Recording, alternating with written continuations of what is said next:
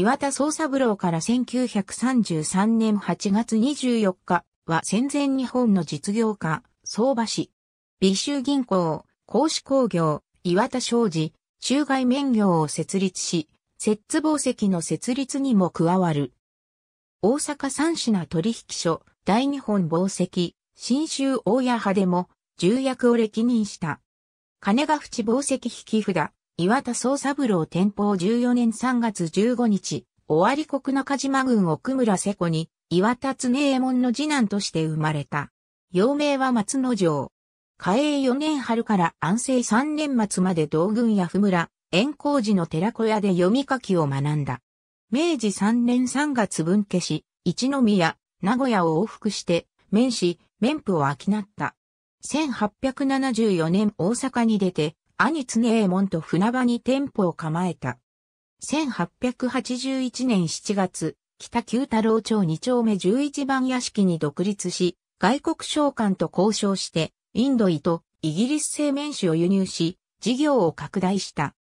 1889年4月15日摂津宝石の設立発起人となり、初代取締役に就任し、女皇への傘の支給や送料を招いての法話を行った。一度取締役を辞任するも、業績が悪化すると、取締役に復帰し、監査役も務めた。1893年末、中村宗兵衛、今西林三郎、山本治平、岩田孫太郎等と発起人総代として内外面下、火星と木綿取引所設立に参加し、理事を27年間、幹事を3年間務めつつ、これら3品の取引で幹事、辰木正次郎としのぎを削った。1896年2月2日、美州銀行を創立して取締役、頭取を務めたほか、公私工業を設立して社長となり、大阪商業会議所議員を務めた。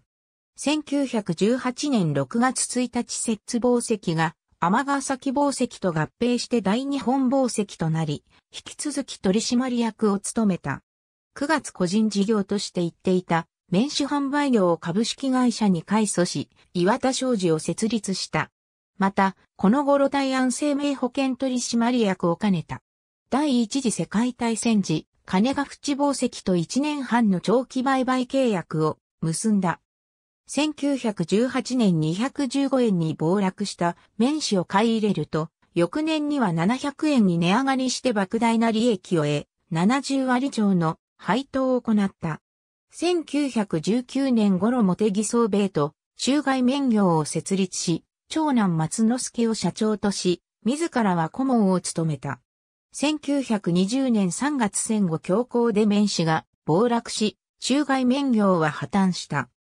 長期先物約定により、岩田商事も多額の債務を負ったが、手形の代金決済を拒否すると、1921年2月、大阪合同宝石、東洋宝石、金ヶ淵宝石、大日本宝石に訴訟を提起され、日本銀行結城豊太郎の仲裁を受けた。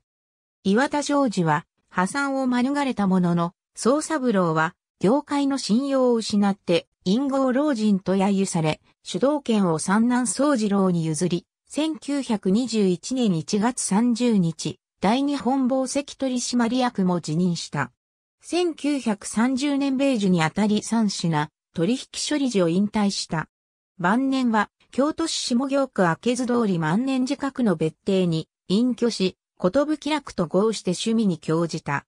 以後は、初段格といい、関西の実業家大会に出場、浄瑠璃も自ら演じて99回を主導したほか、京都の書家東南、沢道に書道を習い、新聞社主催の実業家予議大会に出品した。1933年8月24日、慢性腎臓病で死去した。先祖代々新州大谷派を信仰し、自身も同派の運営に深く関与し、岩田本願寺の異名を取った。1893年1月、大谷派本願寺世話方、1909年6月会計部相談役を務め、経理委員を引き受けたほか、相続公参与、財務監査、本領五次財団法人理事、参議院を兼任し、1920年12月20、日本山総貢献、財務顧問に就任した。私立大谷女学校、大谷高等女学校、大谷女子専門学校等の教育事業にも多額の寄付を行い、これら3校を統括する財団法人大谷学園が設立されると理事に就任した。岩田宗三郎を受蔵先祖は代々農業を営んだ。ありがとうございます。